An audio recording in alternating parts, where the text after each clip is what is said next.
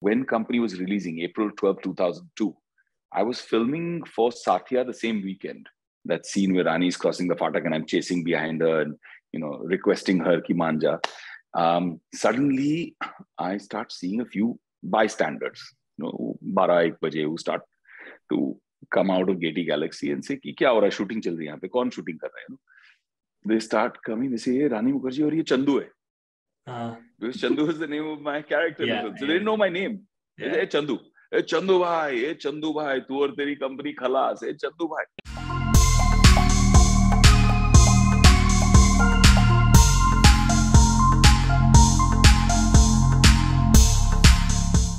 Right, with me today is uh, Anu Sharma and uh, Vivek Anand Oberoi. Anu, I hope I pronounced your name correctly. Uh, they are the founders of Impresario Global. We're going to be talking to them about that. Uh, to start off with, first of all, of course, welcome to the show, Candid Conversations. Vivek is in London, uh, whatever the time is over there. And uh, but to begin with, what was really the idea behind you know starting Impresario Global? Anu, please, ladies first. Thanks, Kabir. Um, so you know all my life actually it's it's actually quite personal why i started impresario global and got you know vivek support through the entire journey. Um, there is something called civic empathy right? Um, the propensity of an individual to be civic minded or act in a manner that is pro social uh, which is something um, that has been very close to me. I've always felt that that's something that that our society specifically could do uh, more with. And um, my education so far also, you know, through my life, it's been in corporate social responsibility. And then my work experience also sort of culminated in the creation of Impresario Global. So you can say the main reason behind starting this was to create real impact and drive civic empathy in communities locally. Okay, and you know, to to talk about more specifics, really, what kind of, if you can give us some uh, one, two, three, whatever examples of different ways in which you know the company has driven um, social performance or civic mindedness. Right. So um, we hope to. We are still pre-revenue, like I you know mentioned before. Um, but how we are planning to do that is actually threefold. Uh, through knowledge, attitude, and practice um, knowledge uh, how we are creating you know a specific uh, content module series that is going to uh, you know be uh, a detailed um, disc, uh, discourse on global causes the sustainable development goals. And it's going to tackle them very very uh, you know um, in a manner that people can understand so to say you know not non-scientific non-technical but having said that, it does uh, hope to drive attitudinal and behavioral changes as well. So those are the other two legs. So I'll give you a very simple example. Yeah. Uh, we study about uh, recycling, right, in schools. Uh, mm. That's um, a part of the curriculum.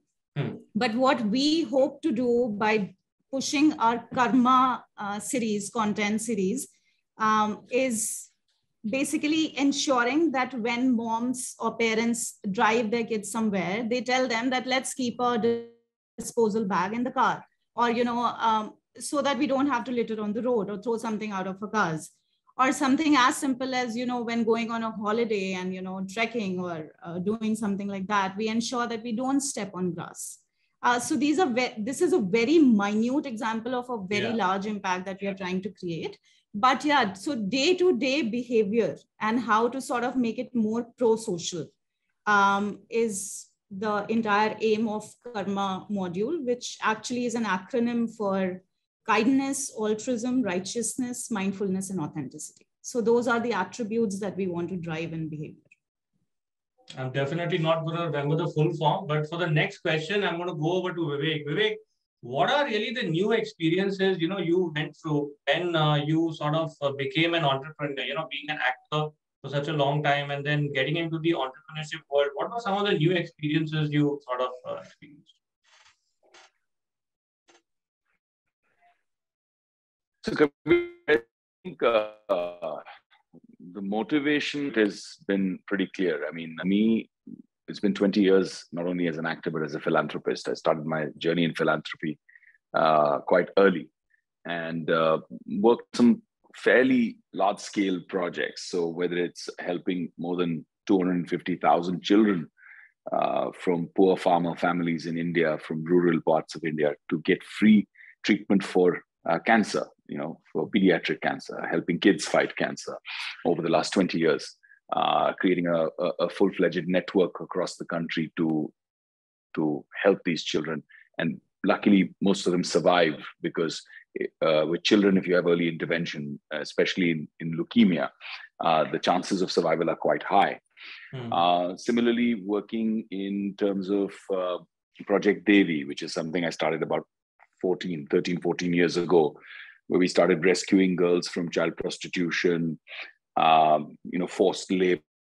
Uh, and today we've rescued almost 14,000 girls uh, over the last wow. decade and a half uh, and empowered them through education and global exposure, right? A lot of these girls who are from villages are today studying uh, or pursuing careers in UK, in Canada, in the United States, uh, and giving back to their society, right? Giving back to Bharat. So that has always been a big part of my motivation. But aside from being, say, the brand ambassador for the Social Justice Ministry of India or uh, working with the United Nations Youth uh, Program, uh, what I felt was that faster scaling will happen not through non-profit, but through social impact for profit. So the idea was how do you build social impact for profit businesses? So we did FinancePeer, where we ended up creating India's first interest-free education fee financing loan company. Then now we are doing iScholar. iScholar is a company that connects digitally a bridge between India and Bharat. Uh, you know, so best teachers are in India. Most aspirational students live in Bharat.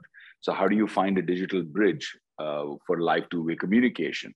Uh, we're working on um, agriculture with farmers. How do you enhance their incomes through a platform called AgriBid, uh, which has already done 200 crores in GMV in its first year and is affecting the lives of 800,000 farmers already. So mm-hmm. impact stories like that, right? Mm-hmm. Uh, roadside safety assistance uh, through Ready Assist. So these are the companies that I have either co-founded or, or empowered. And normally I go into slightly large, later stage companies, companies that are already proven. But Anu's story was so compelling, and it started with our discussions almost a couple of years ago, um, where she kept telling me about what she's trying to build, what she's trying to develop. And then it was so compelling uh, because I feel that this kind of a tool, Civic Empathy Index, um, the way I see it, the way I perceive it, um, is today having been a part of the CSR ecosystem for 20 years, when I see uh, a corporate wanting to write a big sum of money towards CSR, firstly, what are what what are the resources they have to figure out? Why should we do this? To achieve what objective? Is this the best way of doing it? Can we achieve the objective most effectively like this? um, what is the amount of engagement that we will get with the target, right? Say, I'll give you an example. When we were working with uh, Habitat for Humanity, we were building toilets in uh, uh, in a small town, small village outside Pune, mm-hmm. and the toilets for women who used to go out in the fields got rejected. Brand new toilets have been built, but the women refused to use them.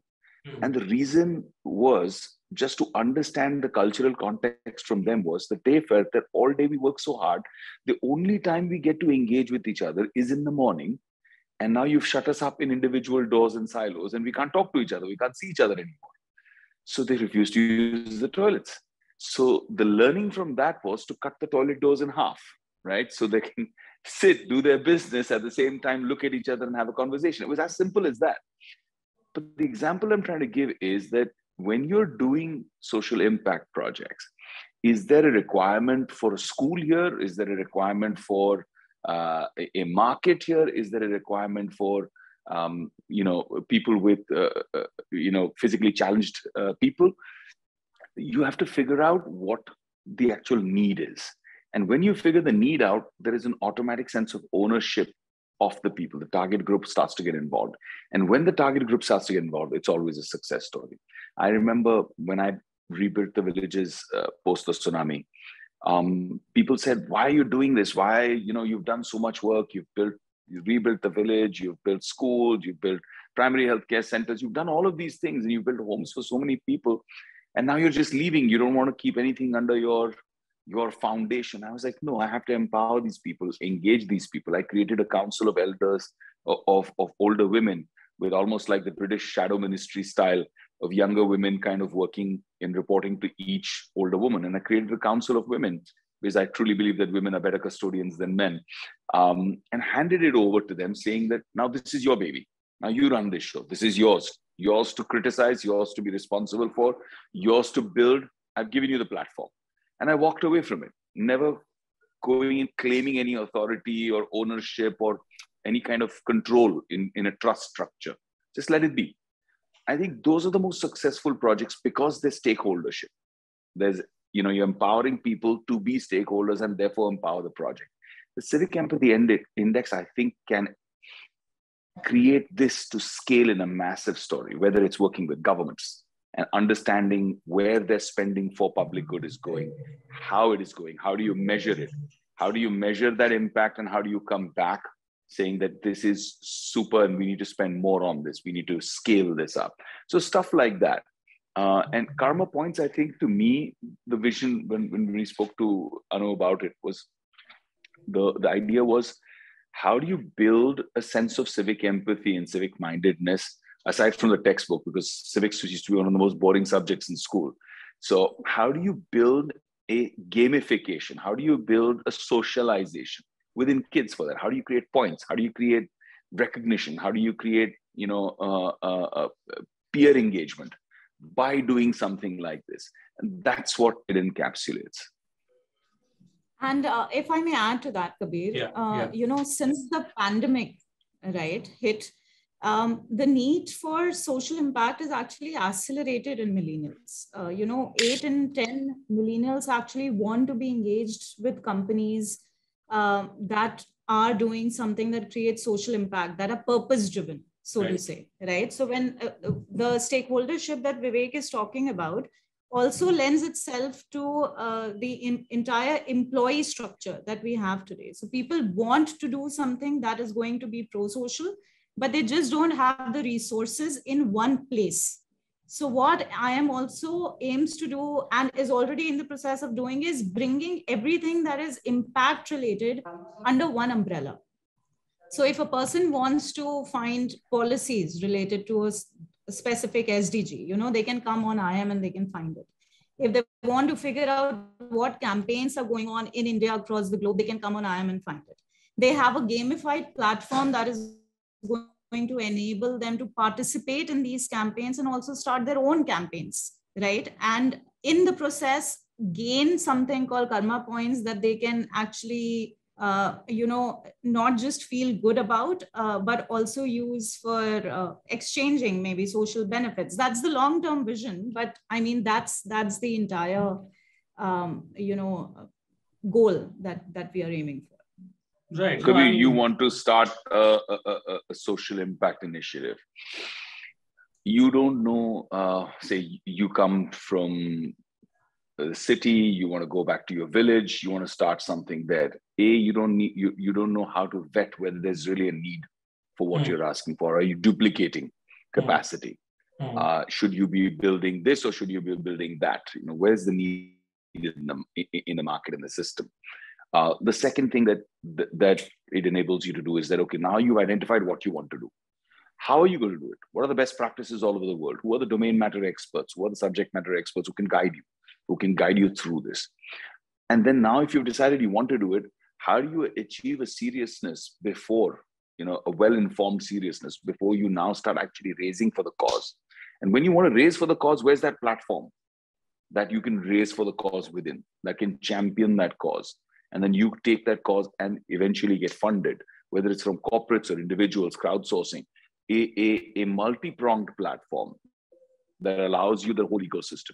And then when you've achieved what you want to build how do you measure the impact of that and report it accurately and honestly that this is the impact that has been created in a third party way you know something that's completely unbiased and very very uh, uh, meticulous and and honest transparent so how do you get all of this under one space along with a repository of content that if it's just a spark uh, kabir is interested in educating the girl child but doesn't really know you know what it's all about now he starts to watch a video or two videos or 10 videos that are specific and focused to the cause that Kabir is, is resonating with at this point.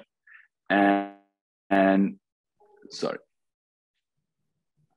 So you start to resonate with that cause, and then it helps you develop and build uh, the depth in, in, that thought process by seeing more content related to it. So it's a it, it's a singular platform uh, for all needs that are related to civic empathy.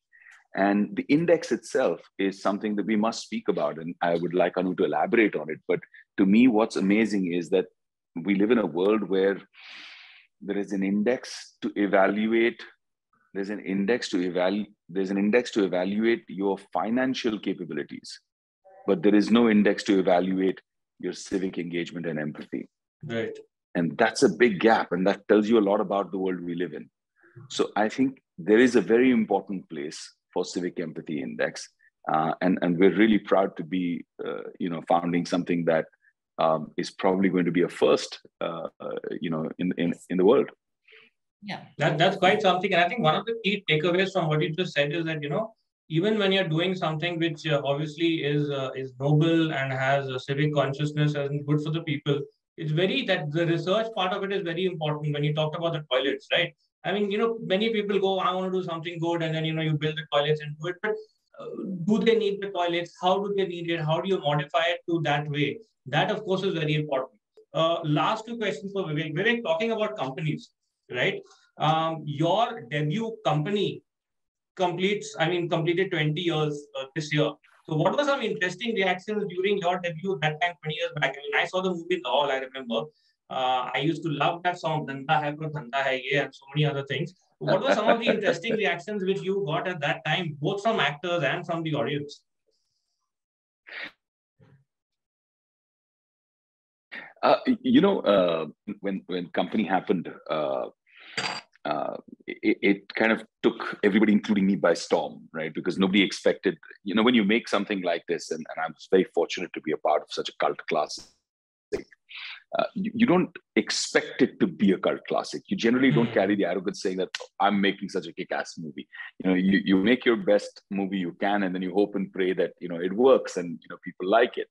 But company created a cult of its own. Uh, I remember uh, when company was releasing April 12, 2002, I was filming for Saathiya the same weekend. Mm. Um, Gaiety Galaxy Cinema. Are you aware of Gaiety Galaxy yeah, in uh, in Mumbai? Yeah, so it's Mumbai. hardcore Seeti Bajao. Yeah. yeah. so hardcore Seeti Bajao. You know, mass commercial cinema, and and not one but five of them. You know, Gaiety Galaxy, Gem, Gemini, all of them. So, two minutes walk from Gaiety Galaxy. There's a railway fatak. There's a crossing. And Rani and I were filming there. And throughout the shooting of Saathiya, I was nobody. She was Rani Mukherjee. Um, so it used to always happen that, you know, whenever Rani was around, there used to be one or two security guys to take care of Rani. And when I was there, nothing. Hum to mazdoor aadmi shooting karte karte, we used to carry the stand also and camera also. And Shaad ke saath, I used to, you know, literally him the director me the star of the movie we used to carry equipment and stuff like that right? Uh, uh, because it was made with that kind of budget and that kind of you know very familial vibe like a family. Yeah. but 20 um, years on you're exactly the same. I'm sorry for interjecting. Yeah, that's true. He's exactly the same. kind of you. No that's very kind of you. Um, when i was uh, shooting on that sunday sunday ka din tha when we were getting a uh, opportunity to to shoot. So i was shooting on that sunday देखते देखते यार दो तीन हज़ार का crowd आ गया वहाँ पे and it the shoot had to shut down. They had to catch me. They had to put me into one of the makeup vans. They had to lock me in there till the cops came, and the cops had to escort me out of there. And I remember Shad, who's a dear friend also, and my director. It was his debut film. He looked at me and gave me a hug suddenly as the cops were taking me out, you know, for security. He said, "Tu star ban gaya, mere bhai." so you know there was a there was an epiphany there was a moment and, and i remember that so clearly. Uh, life changes over one weekend. Totally totally. That's i mean that, that's the thing. I mean uh, that's why i love talking to people from uh, from the film industry. There are so many interesting experiences really which uh, we get to know sometimes we don't get to know but take care and uh, nice talking to you. Thank you kabir. Bye anu